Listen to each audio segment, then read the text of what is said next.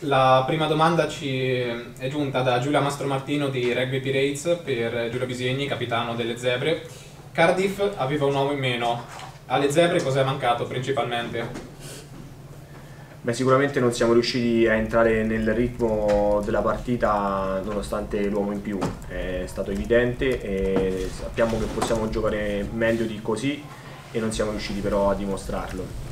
E logicamente con il vento a favore potevamo avere diciamo, qualche tatticismo in più, però devo essere onesto che comunque con l'uomo in più eh, dovevamo comunque dimostrare qualcosa che è mancato e che cercheremo comunque di portare come confidenza per la prossima partita contro Newport.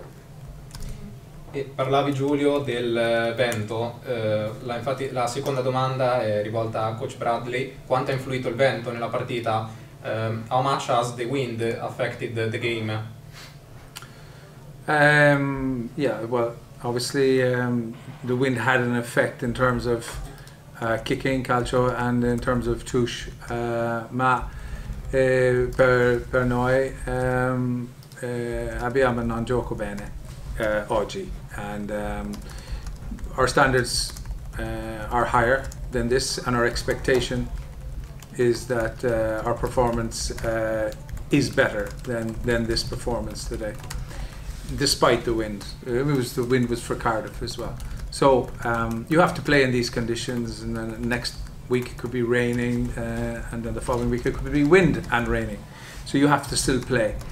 Um, so our disappointment is in that uh, we uh, we set our, we set our target to um, be accurate in a in a number of areas in this match, and uh, we weren't accurate enough to put pressure on Cardiff, and they got the win. Uh, unfortunately for us, it was it was um, too easy for them to to get the points today. Il vento effettivamente ha influito nei tentativi della piazzola o in touche, però complessivamente non abbiamo giocato bene. I nostri standard sono largamente superiori alla performance mostrata, mostrata questa sera, a prescindere di, di chi ha vinto o chi ha perso. Le condizioni meteorologiche poi riguardano entrambe le squadre. Siamo dispiaciuti di aver mancato l'occasione di concretizzare in alcuni frangenti della partita. I Blues sono stati più bravi di noi a farlo e sempre a coach Bradley eh, un giudizio sulla prestazione dei giovani, soprattutto nel secondo tempo, eh, e che importanza avranno in questi mesi pieni di impegni. Uh, Mike, uh, how do you judge the, the performance of the young players of Zebre, in particular uh, considering the next games when Zebre will not count on their Ital Italian internationals? Um. Well, as I said, I mean, the, this match for us was disappointing for, for young and experienced players. Uh, we had a very good team out uh, today. I was um, uh, confident that we would uh, do very well in this match, and you know, uh, we we have days that, that we are disappointed, and there are other days when, when we've been in this room and we've been very happy and we've had good good wins, and I'm sure, absolutely positive that uh, we will have more days um, like that.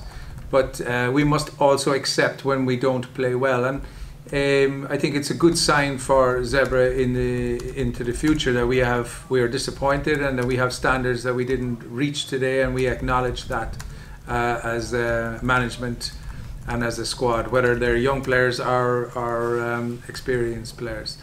For me, uh, I think when the international players go into camp for for the end of the Six Nations 2020 and for this new competition, the Nations Cup. Uh, we will get to see a new crop of um, uh, Zebra players um, and see how competitive they can be. Uh, and we have six, six, seven games in that period, so it'll be an exciting time for, for these players. So you know we look forward to that, but you know I think today is, is about the loss against uh, Cardiff and as Giulio said, that um, you know we we we, will, we now challenge ourselves to to perform well against um, against the Dragons and um, hopefully get a, an away win uh, to balance the loss today. Siamo ovviamente dispiaciuti della partita al netto dei giocatori giovani e anche quelli più anziani. E dobbiamo accettare insomma, il verdetto della, della partita e accettare il fatto che eh, ci siano partite come queste. È bello però che i giovani abbiano queste occasioni di confrontarsi con eh, l'alto livello. Nella finestra dei test match internazionali non potremo contare sugli azzurri ovviamente, avremo 6 o 7 partite di fila in cui vedremo schierati in formazione in atleti eh, più giovani e vedremo come risponderanno alla prova confidiamo di poterci rialzare, di battere già un bel colpo, una bella risposta e toglierci qualche soddisfazione dalla prossima partita il 9 ottobre, venerdì prossimo, la trasferta a Newport contro i Dragons nel secondo turno del torneo. E, bene, se non ci sono altre domande dalla diretta Facebook, allora ringraziamo mm, Coach Bradley e Capitan Bisegni per la disponibilità come sempre Grazie, Grazie a tutti. In bocca al lupo per lunedì che le zebre si ritroveranno alla cittadella del rugby di Parma aprendo la settimana di allenamenti in vista appunto del secondo turno del Pro 14 contro i Dragons. Buonasera okay. a tutti. Grazie.